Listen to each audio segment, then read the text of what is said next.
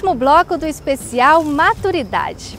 E não se esqueça, depois de amanhã, terça-feira, nós vamos promover um debate bastante importante sobre a situação do idoso no Piauí. O debate acontece dentro do Balanço Geral, a uma hora da tarde, com Douglas Cordeiro. Agora nós vamos mostrar que o amor não tem idade. Edna Maciel foi até algumas festas e conheceu uma turma que gosta mesmo é de se divertir, dançar e, acredite, namorar muito.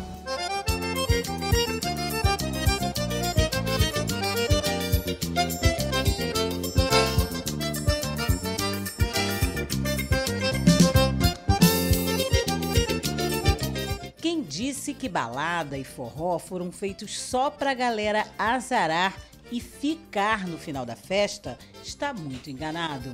Pelo menos quando o assunto é faixa etária. A história de Celso, como este moço elegante, ex-namorador gosta de ser chamado, e Dalva, esta ex-tímida e que também é muito estilosa, é uma prova. Os dois se conheceram no forró.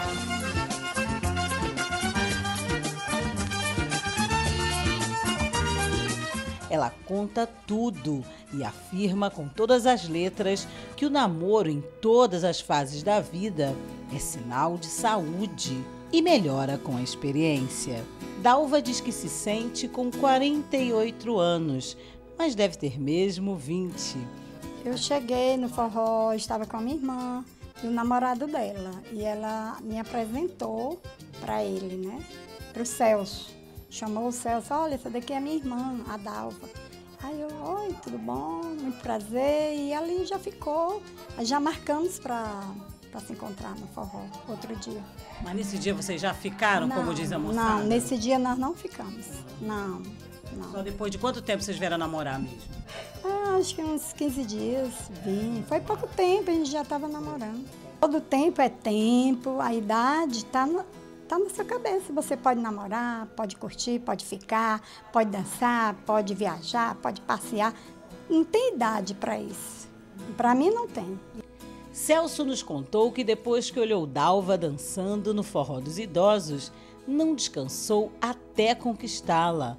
E com 64 anos bem declarados, ele diz que depois de quatro de namoro ou casamento, só quer mesmo é amar ela é, é, muito transvestida, ela conversa muito, como ela, ela gosta de conversar, ela gosta de, de dançar, assim, ela dança sozinha. O que me chamou a atenção é porque eu chegava lá e estava dançando sozinha. E nós estamos até hoje, graças a Deus, eu não, não pretendo largar assim tão cedo, não.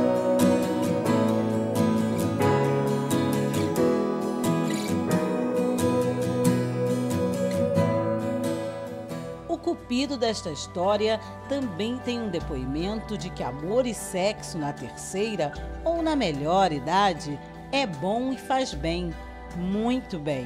A irmã de Dalva já está no segundo namorado, outro forrozeiro, e diz que outras atividades aliadas ao namoro e à dança podem mesmo mudar a vida de quem já viveu muito e tem mais para contar.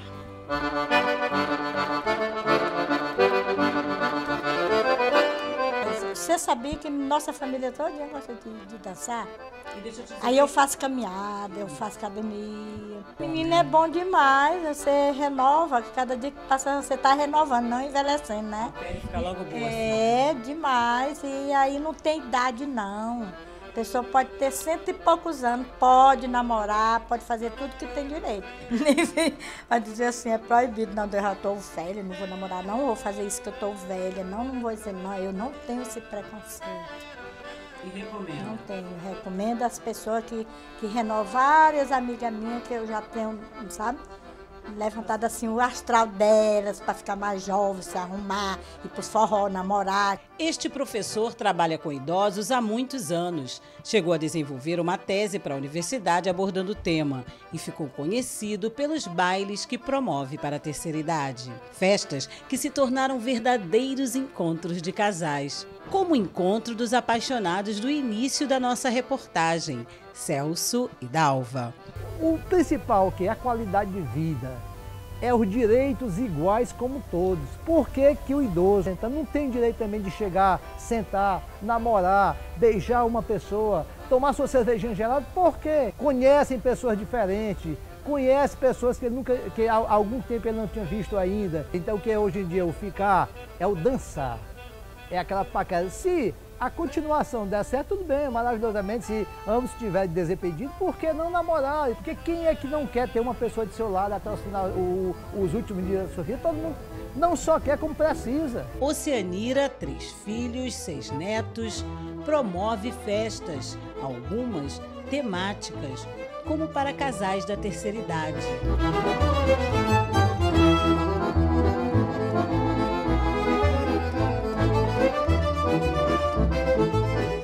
Oceanira faz questão de nos contar que as festas temáticas que promove para os idosos são momentos de diversão e também de verdadeira realização para ela e para os casais que convida. Dançam, se abraçam, se abraçam.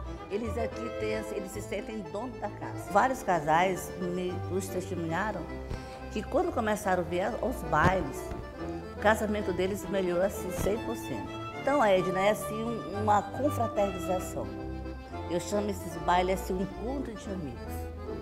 É que eu, eu espero toda sexta-feira, com meu coração morto de felizes, toda sexta-feira, os meus amigos. Oceanira faz questão de nos contar que as festas temáticas que promove para os idosos são momentos de diversão e também de verdadeira realização para ela e para os casais que convida. A educadora dá uma dica: pode ter dança, sensualidade, mas. Para o sexo acontecer na terceira idade, você, homem, você, mulher, você tem que estar interiormente bem.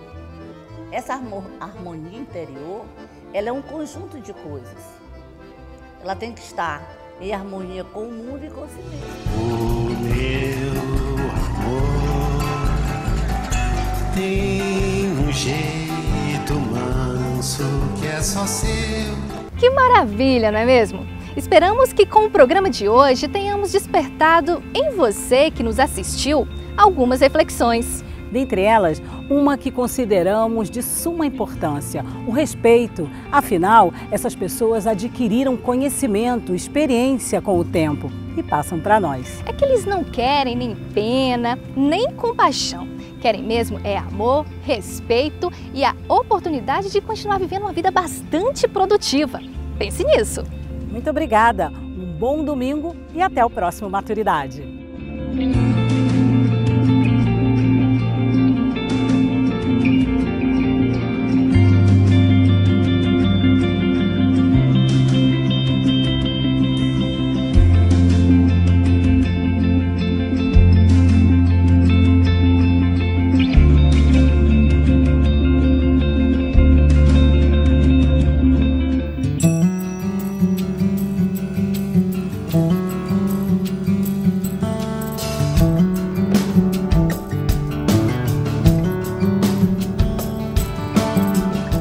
Fundação José Elias Tágira. Oferecimento Aniversário Carvalho, o maior aniversário que você já viu. Óticas Diniz, a maior rede de óticas do Brasil. Dalpisol, um vinho autêntico como você. Secretaria de Estado da Saúde, Piauí Terra Querida, Governo do Estado.